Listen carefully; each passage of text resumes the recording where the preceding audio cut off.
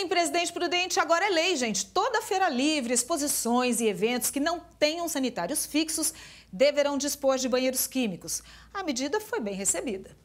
Feira livre, precisa de banheiro? Eu acho que seria uma boa, né? Porque a gente não tem onde ir, né? Às vezes tem necessidade de ir até o banheiro, mas não tem lugar, né? Uma boa ideia. A necessidade não tem hora para bater, né? Agora é lei.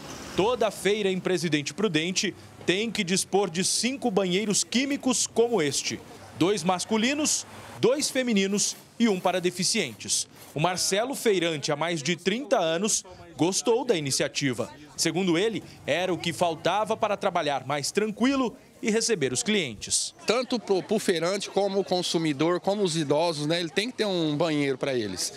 E e às vezes tem pessoas idosas aqui que ficam até constrangido, né? Que não vem na feira porque não tem um lugar próprio para ir no banheiro, né? O texto de autoria do Legislativo determina que o dispositivo esteja disponível em toda a feira livre, exposições em locais públicos abertos e outros eventos que não disponham de sanitários fixos. Mas até que a lei fosse aprovada, houve queda de braço entre o legislativo e o executivo. O texto já tinha sido vetado pelo prefeito, mas o veto acabou sendo derrubado pela Câmara, que por fim promulgou a lei. A prefeitura informou que vai recorrer da decisão. De acordo com a lei, seria o executivo responsável por fornecer os banheiros químicos e cobrir os custos mas um artigo levanta a dúvida de que comerciantes e outros organizadores de eventos teriam que manter os banheiros. Segundo a Câmara, o projeto deve passar por emenda. Ainda assim, a maioria aprovou a ideia. Fica no aperto, né? Se não tiver. Ou corre para casa.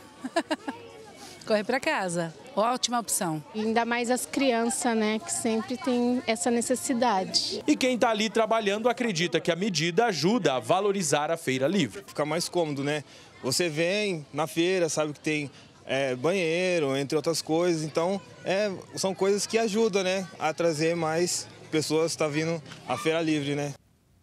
Bom, como foi informado na reportagem, a Prefeitura vai verificar se há alguma medida judicial a ser tomada para recorrer da decisão. Também informou que, caso não seja possível, será analisada a viabilidade de incluir os custos que envolvem essa lei no orçamento do próximo ano.